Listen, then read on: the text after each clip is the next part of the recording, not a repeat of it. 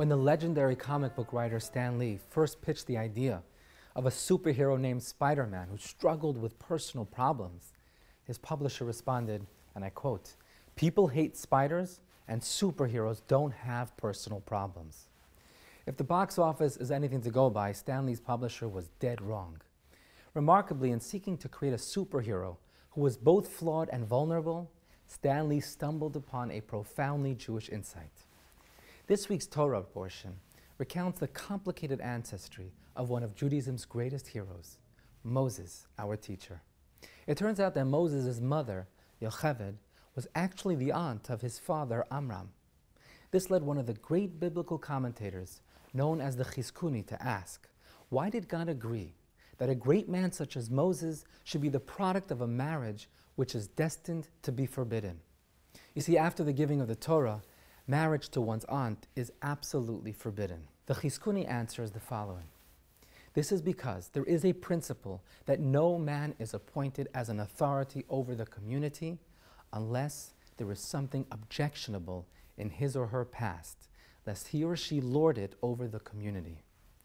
Put simply, in the Jewish tradition, struggling with personal problems is the very criteria by which our greatest heroes are selected, not rejected.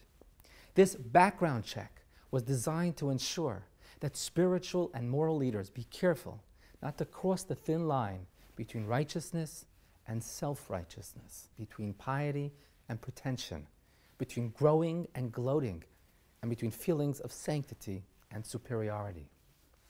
It was also instituted to help enshrine virtues like humility, compassion, and empathy as the foundational building blocks of good leadership as well as to disabuse both those who lead and those who are led of the powerful, alluring notion of infallibility.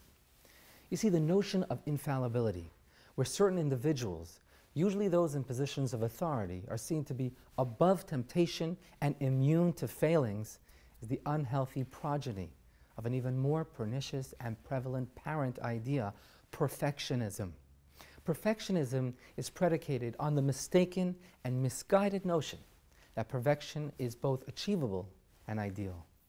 Judaism vehemently disagrees on both accounts, teaching in so many ways that A, nobody is immune to struggle, and B, the very purpose of existence itself is to embrace and to elevate rather than to escape and to evade our personal struggles.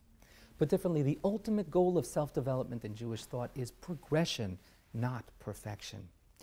In choosing as its role models those who sometimes fall short but always get back up, those who make mistakes but own up to their errors, Judaism aims to smash the idols of perfectionism and infallibility, whose worship inevitably leads to a culture of corruption, suppression, abuse, threats, and cover up.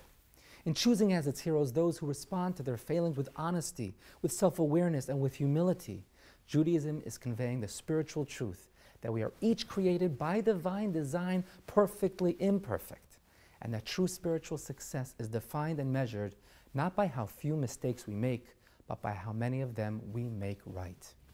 Shabbat Shalom.